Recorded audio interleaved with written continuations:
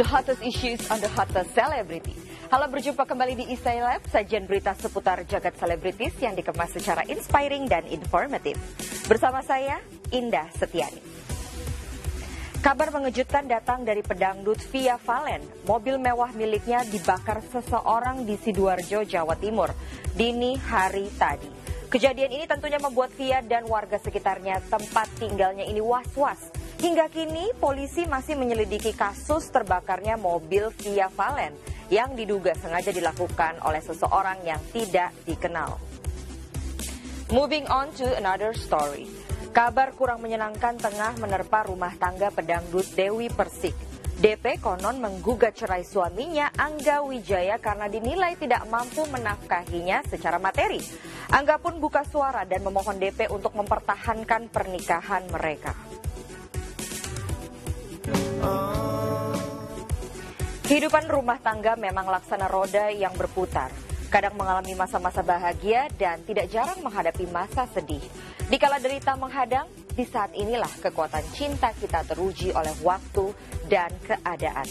Namun bagaimanapun juga, jodoh, maut, dan rezeki memang sudah digariskan yang maha kuasa. Selanjutnya konflik panas keluarga antara Aurel dan Kris Dayanti membuat Ashanti buka suara. Sesaat lagi...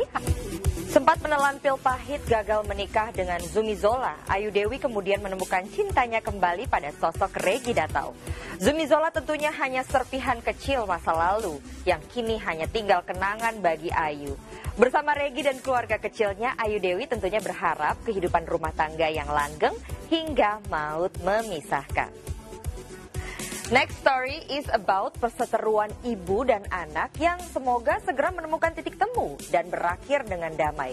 Karena tidak ingin berlarut-larut, Ashanti ibu sambung Aurel dan Azriel berinisiatif untuk mengatur pertemuan empat mata antara Chris Dayanti dan anak-anaknya. Ashanti yang selama ini bungkam akhirnya buka suara tentang konflik keluarga ini. A mother's love is uh, endless. Ya, Kasih sayang ibu sepanjang masa, cinta ibu adalah yang paling menenangkan. Ia tak banyak wujud dan meneduhkan seperti oase di padang nan gersang.